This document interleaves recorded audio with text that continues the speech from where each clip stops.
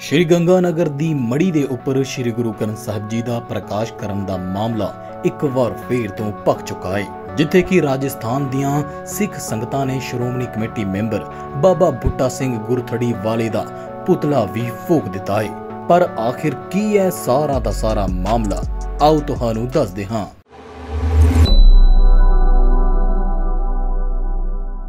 ਸ਼੍ਰੀ ਗੰਗਾਨਗਰ ਜ਼ਿਲ੍ਹੇ ਦੇ ਵਿੱਚ ਗੁਰੂ ਗ੍ਰੰਥ ਸਾਹਿਬ ਜੀ ਦੇ ਸਤਿਕਾਰ ਅਤੇ ਸਨਮਾਨ ਦੇ ਲਈ ਅਕਾਲ ਤਖਤ ਸਾਹਿਬ ਦੀ ਛਤਰ ਛਾਇਆ ਦੇ ਹੇਠ ਕੰਮ ਕਰ ਰਹੀਆਂ ਸਿੱਖ ਸੰਸਥਾਵਾਂ ਦੇ ਵੱਲੋਂ ਪਿੰਡ ਵਿਖੇ ਮੜੀਆਂ ਦੇ ਉੱਪਰ ਗੁਰੂ ਘਰ ਸਥਾਪਿਤ ਕਰਕੇ ਸ਼੍ਰੀ ਗੁਰੂ ਗ੍ਰੰਥ ਸਾਹਿਬ ਜੀ ਦੇ ਪ੍ਰਕਾਸ਼ ਦੇ ਮਾਮਲੇ ਦੇ ਵਿੱਚ ਸ਼੍ਰੋਮਣੀ ਕਮੇਟੀ ਮੈਂਬਰ ਬਾਬਾ ਬੂਟਾ ਸਿੰਘ ਗੁਰਥੜੀ ਵਾਲਿਆਂ ਤੇ ਦੰਬੀ ਪਾਖੰਡੀਆਂ ਦੇ ਹੱਕ ਵਿੱਚ ਭੁਗਤਣ ਦਾ ਦੋਸ਼ ਲਗਾ ਕੇ ਗੁਰਥੜੀ ਵਾਲਿਆਂ ਦਾ ਪੁਤਲਾ ਫੂਕ ਕੇ ਪ੍ਰਦਰਸ਼ਨ ਕੀਤਾ ਗਿਆ। ਸਿੱਖ ਸੰਗਤਾਂ ਦੀ ਇੱਕ ਹੰਗਾਮੀ ਮੀਟਿੰਗ ਗੁਰਦੁਆਰਾ ਮਹਿਤਾਬਗੜ੍ਹ ਸਾਹਿਬ ਪਿੰਡ ਗੋਲੂਵਾਲਾ ਵਿਖੇ ਹੋਈ ਹੈ ਅਤੇ ਮੀਟਿੰਗ ਦੇ ਵਿੱਚ ਭਾਈ ਬਾਬਾ ਮਹਿੰਦਰ ਸਿੰਘ ਬੁੱਢਾ ਚੋਹੜ, ਬੀਬੀ ਹਰਮੀਤ ਕੌਰ ਖਾਲਸਾ, ਬਾਬਾ ਗਗਨਦੀਪ ਸਿੰਘ ਗੰਗਾਨਗਰ, ਬਾਬਾ ਦਰਸ਼ਨ ਸਿੰਘ ਪੀਲੀਬੰਗਾ ਭਾਈ ਸ਼ਿਵ ਰਚਨ ਸਿੰਘ ਬੁਗਿਆਲ ਵਾਲੀ, ਭਾਈ ਨਿਰਮਲ ਸਿੰਘ ਖਰਲੀਆਂ ਭਾਈ ਸੰਦੀਪ ਸਿੰਘ ਸੋਨਾ ਗੰਗਾਨਗਰ ਆਦਿ ਸੰਗਤਾਂ ਦੇ ਵੱਲੋਂ ਵੱਡੀ ਗਿਣਤੀ ਦੇ ਵਿੱਚ ਸ਼ਾਮਲ ਹੋ ਕੇ ਇਸ ਦੇ ਬਾਰੇ ਤੇ ਗੱਲ ਕੀਤੀ ਗਈ ਹੈ। ਇਸ ਮੌਕੇ ਤੇ ਸਰਬਸੰਮਤੀ ਦੇ ਨਾਲ ਮਤਾ ਪਾਸ ਕਰਕੇ ਐਸਜੀਪੀਸੀ ਜੀ ਹਾਂ ਸ਼੍ਰੋਮਣੀ ਗੁਰਦੁਆਰਾ ਪ੍ਰਬੰਧਕ ਕਮੇਟੀ ਦੇ ਮੈਂਬਰ ਬਾਬਾ ਬੂਟਾ ਸਿੰਘ ਦੀ ਨਿੰਦਾ ਕਰਦੇ ਹੋਏ ਸ਼੍ਰੋਮਣੀ ਕਮੇਟੀ ਪ੍ਰਧਾਨ ਨੂੰ ਕਿਹਾ ਗਿਆ ਹੈ ਕਿ ਤੁਰੰਤ ਪ੍ਰਭਾਵ ਦੇ ਨਾਲ ਬੂਟਾ ਸਿੰਘ ਦੀ ਮੈਂਬਰੀ ਖਤਮ ਕੀਤੀ ਜਾਵੇ।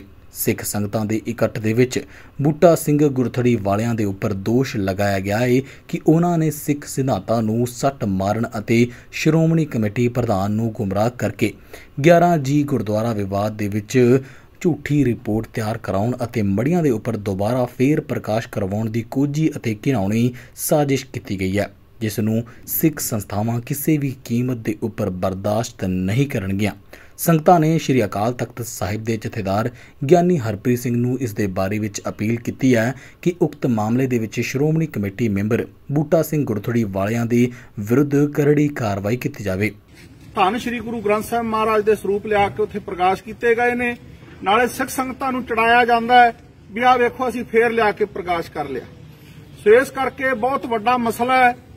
ਸੋ ਹੁਣ ਜੇਕਰ ਬਾਬਾ ਬੂਟਾ ਸਿੰਘ ਜੀ ਗੁਰਥੜੀ ਵਾਲੇ ਜੋ ਕਿ ਐਸਜੀਪੀਸੀ ਦੇ ਸਾਬਕਾ ਉਪ ਪ੍ਰਧਾਨ ਵੀ ਰਹੇ ਨੇ, ਗੁਰਮਤ ਦਾ ਪ੍ਰਚਾਰ ਵੀ ਕਰਦੇ ਨੇ। ਜੇਕਰ ਉਹ ਐਸੇ ਲੋਕਾਂ ਦੀ ਪੁਸਤਪਨਾਈ ਕਰਨਗੇ, ਇਹਨਾਂ ਦਾ ਸਾਥ ਦੇਣਗੇ, ਤੇ ਫਿਰ ਉਹਨਾਂ ਵਾਸਤੇ ਸੰਗਤਾਂ ਦੇ ਵਿੱਚ ਵਿਚਰਨਾ ਬਹੁਤ ਔਖਾ ਹੋ ਜਾਏਗਾ। ਉਹਨਾਂ ਦਾ ਹਰ ਦੀਵਾਨ ਜਿੱਥੇ ਲੱਗਿਆ ਕਰੇਗਾ, ਉੱਥੇ ਵਿਰੋਧ ਕਰਿਆ ਕਰਾਂਗੇ। ਅਤੇ ਅਕਾਲ ਤਖਤ ਸਾਹਿਬ ਤੇ ਵੀ ਜਾ ਕੇ ਅਸੀਂ ਅੰਮ੍ਰਿਤਸਰ ਸਾਹਿਬ ਵਿਖੇ ਵੀ ਉਹਨਾਂ ਦਾ ਡਟ ਕੇ ਵਿਰੋਧ ਕਰਾਂਗੇ। ਰਾਜਸਥਾਨ ਦੇ ਵਿੱਚ ਅਸੀਂ ਉਹਨਾਂ ਨੂੰ ਪੈਰ ਨਹੀਂ ਪਾਉਣ ਦਿਆਂਗੇ।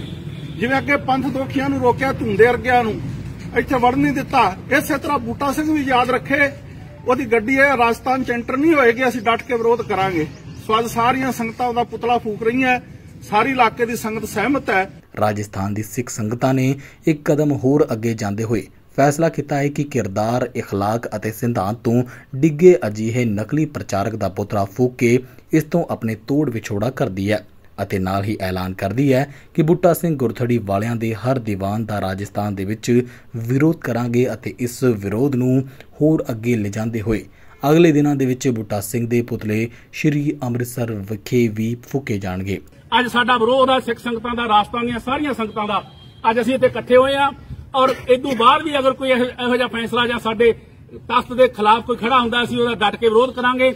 ਔਰ ਅੱਜ ਇੱਥੇ ਰਾਜਸਥਾਨ 'ਚ ਕੱਲ ਨੂੰ ਅਸੀਂ ਵਿਚਾਰ ਬਣਾ ਕੇ ਮੀਟਿੰਗ ਰੱਖ ਕੇ ਸ੍ਰੀ ਅੰਮ੍ਰਿਤਸਰ ਸਾਹਿਬ ਜਾ ਕੇ ਵੀ ਅਸੀਂ ਇਹਨਾਂ ਦੀ ਵਿਰੋਧਤਾ ਜਾਰੀ ਰੱਖਾਂਗੇ ਉੱਥੇ ਵੀ ਵਿਰੋਧ ਕਰਾਂਗੇ ਜੀ। ਇਹ ਸੰਗਤਾਂ ਨੂੰ ਅਪੀਲ ਹੈ ਸੁਚੇਤ ਹੋਣ ਸੰਗਤਾਂ। ਅੱਜ ਦੀ ਮੀਟਿੰਗ ਵਿੱਚ ਬਹੁਤ ਸਾਰੇ ਪਤਵੰਤੀ ਸੱਜਣਾ ਦੇ ਵੱਲੋਂ ਪਹੁੰਚ ਕੇ ਆਪਣੀ ਰੋਸ ਨੂੰ ਜ਼ਾਹਿਰ ਕੀਤਾ ਗਿਆ। ਇਸ ਦੀ ਜਾਂਚ ਅਕਾਲ ਤਖਤ ਸਾਹਿਬ ਤੇ ਭੇਜੀ ਗਈ। ਜਦੋਂ ਕਿ ਪਤਾ ਲੱਗਿਆ ਜਾਂਚ ਪਹਿਲਾਂ ਰੋਕੀ ਗਈ। ਪਹਿਲਾਂ ਜਾਂਚ ਰੋਕੀ ਗਈ। ਜਦੋਂ ਪੜਤਾ- ਪੜਤਾਲ ਕੀਤੀ ਗਈ ਵੀ ਕਿਹਨੇ ਰੋਕੀ ਹੈ ਤੇ ਨਾਮ ਆਇਆ ਬੂਟਾ ਸਿੰਘ ਬਾਬਾ ਗੁਰਥੜੀ ਵਾਲੇ ਦਾ, ਉਹਨਾਂ ਦਾ ਨਾਮ ਆਇਆ। ਉਹ ਬੰਦੇ ਅਸੀਂ ਕਹਿਣ ਤੋਂ ਗੁਰੇਜ਼ ਨਹੀਂ ਕਰਾਂਗੇ, ਅਸੀਂ ਉਹਨਾਂ ਨੂੰ ਸਾਰੇ ਪ੍ਰੂਫ ਦਿਖਾ ਕੇ ਆਏ ਆ, ਸ਼ਾਇਦ ਸਾਨੂੰ ਐ ਲੱਗੇ, ਸ਼ਾਇਦ ਉਹਨਾਂ ਨੂੰ ਨਹੀਂ ਪਤਾ ਸੱਚਾਈ ਦਾ। ਅਸੀਂ ਸਾਰੇ ਪ੍ਰੂਫ ਕਾਗਜ਼ ਸਾਰੇ ਦਿਖਾ ਕੇ ਆਏ, ਬਾਬਾ ਜੀ, ਉਹ ਗਲਤ ਹੈ, ਉੱਥੇ ਸਰੂਪ ਪ੍ਰਕਾਸ਼ ਨਹੀਂ ਹੋਣਾ ਚਾਹੀਦਾ ਸੀ। ਅਕਾਲ ਤਖਤ ਦੀ ਜਿਹੜੀ ਜਾਂਚ ਹੈ, ਉਹਨਾਂ ਨੇ ਉੱਥੇ ਗਲਤ ਪਾਇਆ ਗਿਆ। ਉੱਥੇ ਸਰੂਪ ਦੀ ਜਾਂਚ ਕੀਤੀ ਜਾਵੇ, ਕਿੰਨਾਂ ਨੇ ਸਰੂਪ ਉੱਥੇ ਪਹੁੰਚਾਇਆ? ਪਰ ਬਾਬਾ ਜੀ, ਬਾਬਾ ਗੁਰਥੜੀ ਵਾਲਿਆਂ ਨੇ ਉਹਨਾਂ ਨੇ ਜਾਂਚ ਇਹ ਨਹੀਂ ਕੀਤੀ ਵੀ ਸਰੂਪ ਕਿੱਥੋਂ ਆਇਆ। ਉਹ ਜਾਂਚ ਉਹਨਾਂ ਦੇ ਹੱਕ ਵਿੱਚ ਕਰ ਰਹੇ ਕਹਿੰਦੇ ਜੀ ਉੱਥੇ ਮਟੀ ਹੈ ਨਹੀਂਗੀ ਜਾਂ ਮਟੀ ਦਾ ਸਮਰਥਨ ਕਰ ਰਹੇ ਨੇ। ਅਸੀਂ ਅੱਜ ਸਾਰੀਆਂ ਸਿੱਖ ਸੰਗਤਾਂ ਰਾਜਸਥਾਨ ਦੀਆਂ ਇਕੱਠੀਆਂ ਹੋਈਆਂ ਨੇ। ਉਹਨਾਂ ਦੀ ਕਾਨੂੰਨੀ ਹਰਕਤ ਕਰਕੇ ਪੈਸੇ ਲਾ ਕੇ ਇਹ ਇਹ ਫੈਸਲੇ ਕਰਦੇ ਨੇ। ਮਟੀਆਂ ਤੇ ਪ੍ਰਕਾਸ਼ ਕਰਵਾਉਂਦੇ ਨੇ। ਇਹ ਜਮਾ ਇਹਨਾਂ ਦੀ ਨਿੰਦਣਯੋਗ ਹਰਕਤਾਂ ਹੈਗੀਆਂ। ਇਹ ਸ਼ਰਮ ਨਾਲ ਮਰ ਜਾਣਾ ਚਾਹੀਦਾ ਇਹਨਾਂ ਨੂੰ। College application and visa process was done with their help only.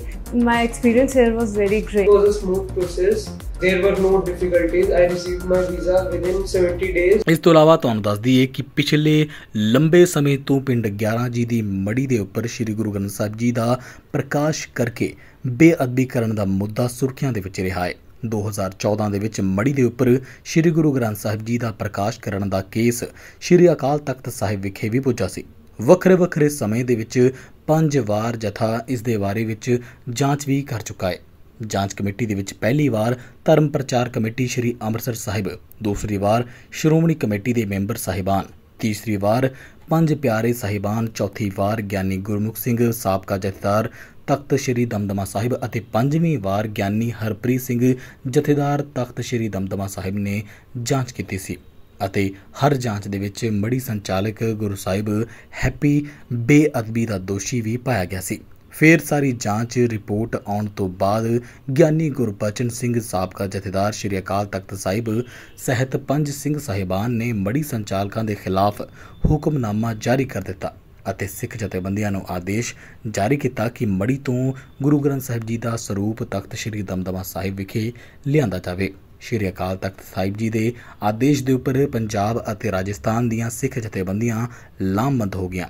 ਅਤੇ ਗੁਰੂ ਸਾਹਿਬ ਜੀ ਦੇ ਸਰੂਪ ਲਿਆਉਣ ਵਾਸਤੇ ਚਾਲੇ ਵੀ ਪਾ ਦਿੱਤੇ। ਇਹ ਵੇਖ ਸਿੱਖ ਵਿਰੋਧੀ ਤਾਕਤਾਂ ਇਕਜੁੱਟ ਹੋ ਗਈਆਂ। ਆਰਐਸਐਸ ਗੁਰੂ ਗ੍ਰੰਥ ਸਾਹਿਬ ਜੀ ਦੀ ਬੇਅਦਬੀ ਕਰਕੇ 295 ਏ ਧਾਰਾ ਦਾ ਮੁਲਜ਼ਮ ਬ੍ਰਹਮਦੇਵ ਸਹਿਤ ਸਾਰੇ ਕੌਮ ਵਿਰੋਧੀ ਵੀ ਇਕੱਠੇ ਹੋ ਕੇ ਇੱਕ ਕਤਾਰ ਦੇ ਵਿੱਚ ਖੜੇ ਹੋ ਗਏ। ਇਸ ਤੋਂ ਇਲਾਵਾ ਤੁਹਾਨੂੰ ਦੱਸ ਦਈਏ ਕਿ ਸਿੱਖ ਜਥੇਬੰਦੀਆਂ ਨੂੰ ਰੋਕਣ ਵਾਸਤੇ ਰਾਜਸਥਾਨ ਪੰਜਾਬ ਬਾਰਡਰ ਸੀਜ਼ ਕਰ ਦਿੱਤਾ ਗਿਆ। ਪੂਰੇ ਜ਼ਿਲ੍ਹੇ ਦੇ ਵਿੱਚ ਧਾਰਾ 144 ਲਗਾ ਦਿੱਤੀ ਗਈ। 15 ਮੈਜਿਸਟ੍ਰੇਟ ਲਗਾ ਦਿੱਤੇ ਗਏ। ਜਗ੍ਹਾ ਜਗ੍ਹਾ ਦੇ ਉੱਪਰ ਬੈਰੀਕੇਡਸ ਲਗਾ ਦਿੱਤੇ। ਪੂਰੇ ਜ਼ਿਲ੍ਹੇ ਦਾ ਇੰਟਰਨੈਟ ਬੰਦ ਕਰ ਦਿੱਤਾ ਅਤੇ ਪੁਲਿਸ ਦੀਆਂ ਪੰਜ ਬਟਾਲੀਅਨਾਂ ਨੂੰ ਵੀ ਲਗਾ ਦਿੱਤਾ ਕਿ ਕਿਸੇ ਵੀ ਸੂਰਤ ਦੇ ਵਿੱਚ ਸਰੂਪ ਨੂੰ ਨਹੀਂ ਲਿਜਾਉਣ ਦੇਣਾ। ਪਰ ਕੌਮੀ ਮਰਜ਼ੀ ਵਾੜੇ ਇਹਨਾਂ ਬੰਦਿਸ਼ਾਂ ਨੂੰ ਕੀ ਜਾਣਦੇ ਸਨ? ਗੁਰੀਲਾ ਯੁੱਧ ਪ੍ਰਣਾਲੀ ਦੇ ਤਹਿਤ ਰਾਤ 2 ਵਜੇ ਸਿੰਘਾਂ ਨੇ ਹਮਲਾ ਕੀਤਾ। ਮੜੀ ਸੰਚਾਲਕ ਪਖੰਡੀਆਂ ਦਾ ਹੀ ਨਸਾਂ ਦੇ ਵਿੱਚ ਧੂਆਂ ਕਢਾ ਪਾਵਨ ਸ੍ਰੀ ਗੁਰੂ ਗ੍ਰੰਥ ਸਾਹਿਬ ਜੀ ਦਾ ਸਰੂਪ ਮੜੀ ਤੋਂ ਚੱਕ ਤਖਤ ਸ੍ਰੀ ਦਮਦਮਾ ਸਾਹਿਬ ਪਹੁੰਚਾ, ਅਕਾਲ ਤਖਤ ਦੇ ਹੁਕਮ ਦੀ ਪਾਲਣਾ ਕੀਤੀ ਗਈ। ਪਖੰਡੀਆਂ ਦੇ ਖਿਲਾਫ ਇਸ ਜੰਗ ਦੇ ਵਿੱਚ 8 ਸਿੰਘ ਮੌਕੇ ਦੇ ਉੱਪਰ ਗ੍ਰਿਫਤਾਰ ਹੋਏ ਅਤੇ 17 ਸਿੰਘ ਬਾਅਦ ਦੇ ਵਿੱਚ ਗ੍ਰਿਫਤਾਰ ਕੀਤੇ ਗਏ। ਇਹ ਛਾਪਾਮਾਰ ਹਮਲਾ ਸਿੱਖ ਵਿਰੋਧੀ ਤਾਕਤਾਂ ਦੇ ਮੂੰਹ ਦੇ ਉੱਪਰ ਬਹੁਤ ਵੱਡੀ ਚਪੇੜ ਸੀ, ਜਿਸ ਤੋਂ ਉਹ ਬੁਖਲਾਏ ਹੋਏ ਸਨ।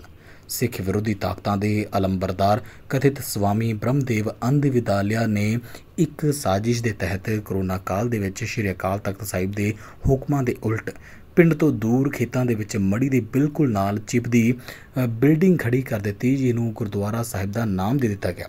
ਅਤੇ ਉਸ ਥਾਂ ਦੇ ਉੱਪਰ ਬ੍ਰਹਮਦੇਵ ਅਤੇ ਮੜੀ ਸੰਚਾਲਕ ਗੁਰੂ ਸਾਹਿਬ ਹੈਪੀ ਨੇ ਫੇਰ ਗੁਰੂ ਗ੍ਰੰਥ ਸਾਹਿਬ ਜੀ ਦਾ ਪ੍ਰਕਾਸ਼ ਕਰ ਦਿੱਤਾ, ਜਿਸ ਦੀਆਂ ਫੋਟੋਆਂ ਅਤੇ ਵੀਡੀਓਜ਼ ਜਥੇਬੰਦੀਆਂ ਨੇ ਤੁਰੰਤ ਸ਼੍ਰੀ ਅਕਾਲ ਤਖਤ ਸਾਹਿਬ ਵਿਖੇ ਭੇਜ ਕੇ ਆਪਣੀ ਸ਼ਿਕਾਇਤ ਦਰਜ ਕਰਵਾਈ ਸੀ।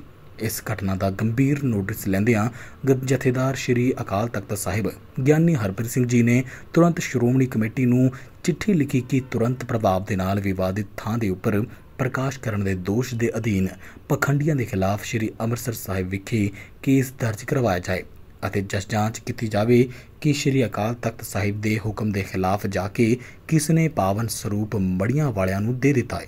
ਪਰ ਇੱਕ ਸੋਚੀ ਸਮਝੀ ਸਾਜ਼ਿਸ਼ ਦੇ ਤਹਿਤ ਇਹ ਅਕਾਲ ਤਖਤ ਸਾਹਿਬ ਦੇ ਇਹ ਆਦੇਸ਼ ਠੰਡੇ ਬਸਤੇ ਦੇ ਵਿੱਚ ਪੈ ਗਏ।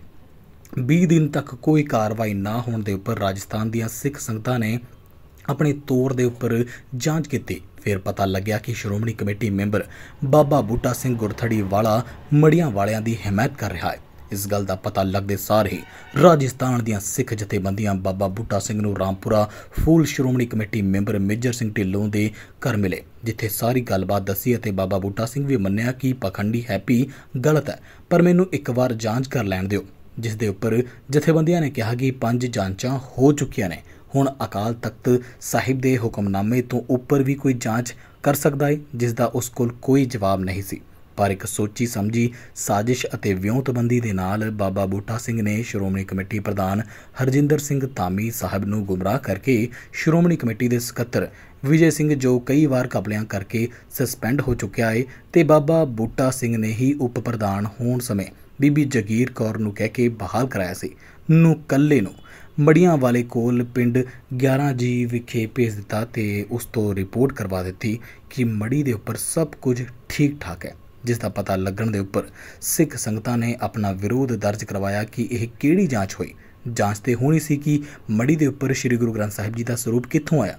ਪਰ ਇਹ ਕੌਲੀ ਚੱਟ ਸਭ ਅੱਛਾ ਹੈ ਦੀ ਰਿਪੋਰਟ ਕਰ ਰਹੇ ਨੇ।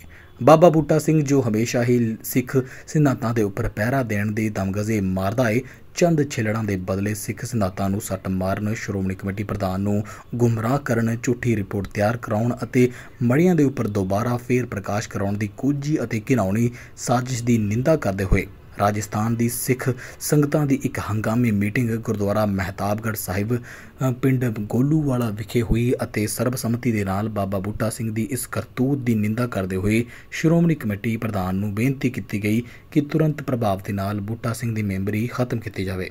ਅਤੇ ਅਕਾਲ ਤਖਤ ਸਾਹਿਬ ਜੀ ਦੇ ਜਥੇਦਾਰ ਸਾਹਿਬ ਨੂੰ ਅਪੀਲ ਕੀਤੀ ਗਈ ਕਿ ਬਾਬੇ ਬੂਟੇ ਦੇ ਖਿਲਾਫ ਕਰੜੀ ਕਾਰਵਾਈ ਕੀਤੀ ਜਾਵੇ ਰਾਜਸਥਾਨ ਦੀ ਸਿੱਖ ਸੰਗਤਾਂ ਨੇ ਇੱਕ ਕਦਮ ਹੋਰ ਅੱਗੇ ਜਾਂਦੇ ਹੋਏ ਫੈਸਲਾ ਕੀਤਾ ਕਿ ਕਿਰਦਾਰ اخلاق ਅਤੇ ਸਿਧਾਂਤ ਤੋਂ ਗਿਰੇ ਅਜਿਹੇ ਨਕਲੀ ਪ੍ਰਚਾਰਕ ਦਾ ਪੁਤਲਾ ਫੂਕ ਕੇ ਇਸ ਤੋਂ ਆਪਣੇ ਤੋੜ ਵਿਛੋੜੇ ਕਰ ਲਏ ਜਾਣ ਅਤੇ ਨਾਲ ਹੀ ਐਲਾਨ ਕਰਦੇ ਆਏ ਕਿ ਬਾਬੇ ਬੂਟੇ ਦੇ ਹਰ ਦੀਵਾਨ ਦਾ ਰਾਜਸਥਾਨ ਦੇ ਵਿੱਚ ਵਿਰੋਧ ਕੀਤਾ ਜਾਵੇ ਅਤੇ ਇਸ ਵਿਰੋਧ ਨੂੰ ਹੋਰ ਅੱਗੇ ਲਿਜਾਂਦੇ ਹੋਏ ਅਗਲੇ ਕੁਝ ਦਿਨਾਂ ਦੇ ਵਿੱਚ ਬਾਬੇ ਬੂਟੇ ਦਾ ਪੁਤਲਾ ਸ਼੍ਰੀ ਅੰਮ੍ਰਿਤਸਰ ਸਾਹਿਬ ਵਿਖੇ ਵੀ ਫੂਕਿਆ ਜਾਵੇਗਾ। ਇਸ ਮੌਕੇ ਦੇ ਉੱਪਰ ਬਹੁਤ ਸਾਰੇ ਪਤਵੰਤੇ ਸੱਜਣਾ ਦੇ ਵੱਲੋਂ ਆ ਕੇ ਆਪਣੀ ਹਾਜ਼ਰੀ ਲਗਵਾਈ ਗਈ ਅਤੇ ਇਹਨਾਂ ਦੇ ਵਿੱਚ ਬਹੁਤ ਲੰਬੀ ਫਹਿਰਿਸਤ ਦੇ ਵਿੱਚ ਬਹੁਤ ਸਾਰੇ ਸੱਜਣਾ ਦੇ, ਬਹੁਤ ਸਾਰੀਆਂ ਸੰਗਤਾਂ ਦੇ ਨਾਮ ਵੀ ਨੇ। ਖੈਰ, ਇਸ ਸਾਰੇ ਦੇ ਸਾਰੇ ਮਾਮਲੇ ਦੇ ਬਾਰੇ ਵਿੱਚ ਤੁਸੀਂ ਜਨਤਾ ਜਨਾਰਦਨ ਕੀ ਸੋਚਦੇ ਹੋ, ਇਸ ਦੇ ਬਾਰੇ ਚ ਕਮੈਂਟ ਸੈਕਸ਼ਨ ਦੇ ਵਿੱਚ ਜਾ ਕੇ ਆਪਣੀ ਰਾਏ ਸਾਂਝੀ ਕਰਨਾ ਬਿਲਕੁਲ ਵੀ ਨਾ ਭੁੱਲਣਾ। ਸੰਪਰਕ ਕਰਨ ਦੇ ਲਈ ਹੁਣੇ ਕਾਲ ਕਰੋ। ਦਿੱਲੀ ਬ੍ਰਾਂਚ ਦੇ ਲਈ 9696875875 ਪੰਜਾਬ ਤੇ ਚੰਡੀਗੜ੍ਹ ਬ੍ਰਾਂਚ ਦੇ ਲਈ 8725875875